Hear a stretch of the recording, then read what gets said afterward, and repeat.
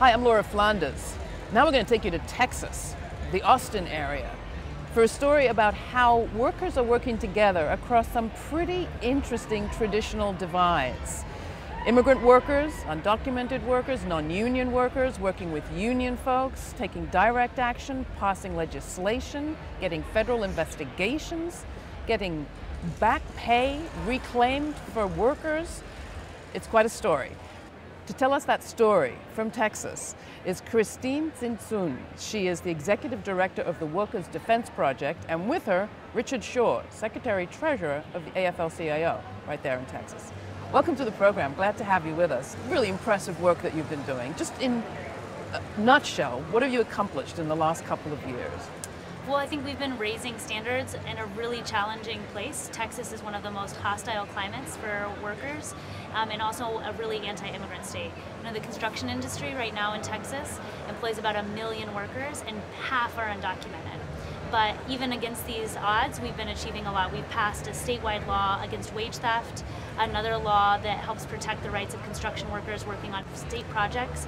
And, and in Texas, you don't even have basic things like rest breaks. So we've been passing legislation as well at the local level to win workers the right to paid rest breaks and taking on some of the largest corporations that are building in the state of Texas and in the country right now. And what's been remarkable about it from the union point of view, Richard? Well, from the union point of view is that the building trades have been partnering and, and, and involved with the Workers' Center. And for those who may not realize why that's such a big deal? Well, it's a big deal because the First of all, the building trades um, don't do a lot of the work. You know, the building trades kind of confine themselves to heavy commercial, industrial work, and they don't do a lot of the work that that, that the other trades, especially the workers that, that come to the worker Center are doing. There's also been a historic sort of antipathy in some places with worker, union workers saying, wait a minute, immigrants are taking our jobs. Well, that, that's always been there. And, and, but from my, my, from my standpoint, I don't really see that. Uh, the, the, the, there's a lot of construction in Texas, and if the building trades has not organized that construction, it, it, may be the kind of work they do, but it's not. It was not their work, but their their wages they felt were being undercut yeah. by the workers doing that work because those workers were sometimes, oftentimes receiving less, sometimes receiving nothing, and and working under horrendous conditions. So and let's talk about those conditions a little bit, Cristina. The workers that the Workers Defense Project works with, what is their life like at work? Well, you know, in other parts of the country, construction jobs are good blue collar jobs. Um, but in Texas, that isn't the case. So in Texas, even though most of the workers work full time, nearly half live in poverty, one in five experience wage theft, and Texas is the most deadly place for construction workers in the country. At its peak just a couple of years ago, there was a worker dying every two and a half days in, Texas.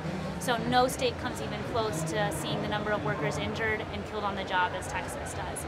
You know, just to speak to what Richard was saying, you know, I do think that the building trades in Texas have come a long way um, and we are working together. That wasn't a relationship that was always steady. It was a little rocky in the beginning, um, but we worked really hard because we knew we had a lot more in common um, as a work as a people representing the working class than being divided. That was what business wanted us to be. Talk about this federal probe a little bit, the OSHA investigation. Um, how did that come about? Well, in 2009, um, there were a series of accidents that were just some really atrocious accidents. Um, and we also were releasing a report that same month where these accidents happened that showed that Texas was the most deadly place for construction workers. There was a project where three workers plummeted 13 stories. Um, none of them were being paid correctly or overtime. Um, and it was found that the company was negligent. And so we went to OSHA and asked them if they could do something in Texas, and they launched a federal investigation and were able to increase uh, fines across the state and since then have put more investigators on the ground in Texas and for the first time we've started to see a dip in the number of workplace fatalities in Texas but we still have a long way to go to ensure that Texas is safe for workers. And you've also, you mentioned claimed back wages for workers in the tens of thousands. Well, we've recovered about a million dollars for construction workers in Texas, um, but it's that's just one small piece of how much workers are actually owed. And one in five workers in the construction industry in Texas aren't paid for their work. It's incredibly common practice, and we see it more in the construction industry than in any other industry in Texas. There's a lot of wage theft out there, so what we recover is just a small amount.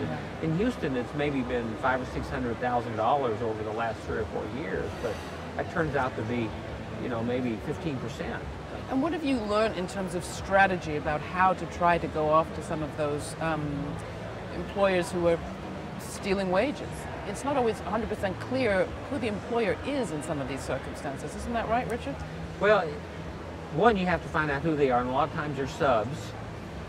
And uh, so what, what we, what, you, you have several recourses. You, you can go into a small claims court or ju- justice of the peace court. You can apply through the Texas Workforce Commission and, and, and make application and then, and then an investigation is done. Or you could file criminal charges. Uh, nobody in Houston files any criminal charges because the, you know, the DA's office is not taking wage theft cases. So, so you have to you have to pursue it. Then you try to get a judgment if you pursue it. And then even if you get a judgment, they still don't pay. And I know in, in I don't know about Austin, but in, in Houston we have they, they, they have something called a justice bus where they load that bus up with people and they go and visit the employer at, at the at the work site. And the employer doesn't like it. Oftentimes it's somebody living in a house and they'll pass things out to the neighbors and tell the neighbors who's living there and what they're doing to you know and and they try to then that's called the public embarrassment model. Yeah. But, but sometimes that actually results in, in getting the money. But um, it's, it's very difficult. Uh, we're, we're working on a wage theft ordinance in Houston that would tie wage theft to anything, any kind of a city permit that the city has to give or grant. So that if, if, if, if you want to do business with the city, you can't have, you know, for lack of a better term, a lien against you. Well, I was going to ask, are there models coming out of the work that you're doing that would be applicable in other parts of the country? Cristina? Well, I think what's happening in our economy is that you know one in three are now contingent workers or temporary workers, and that that's what happens in the construction industry. There's a huge subcontracting chain, so who the employer is is really confusing and challenging. But at the end of the day, everyone's benefiting from workers being paid so poorly or not being paid. So we go after the developer and project owner because they're at the end of the day who can hold the entire subcontracting chain responsible. So some of the work that we've been doing in groups like the Coalition of Immokalee Workers, it's really creative in looking at consumers and end users as a way to leverage and put pressure to get workers' wages back. And that's how we do it in, in Workers' Defense Project is we do go after individual employers, but we let everyone know on that project that they can't turn a blind eye to what's happening to one subcontractor and say, I paid that guy downriver, it's not my problem. It's everyone's problem. Yeah. I was really impressed to hear you'd managed to wrestle the big Apple to the table. Um, talk about that campaign. The Apple Corporation was going to have a really beautiful tax package, tax break package from the city of Austin to build their office, next office building, I think, there. It's a mega complex they were trying to build in Austin, and they were going to get about $30 million between the city, county, and state to come to Texas and build. You know, this is a corporation, one of the largest in the world, and they were getting millions of dollars of our, of our, of our tax money in And they were getting that, as I understand it, because they were promising they were going to be bringing good jobs. They were promising they were going to be bringing good jobs. We were talking about high tech jobs. There was no discussion about the janitorial workers or the construction workers, some of the lowest paid workers in our state.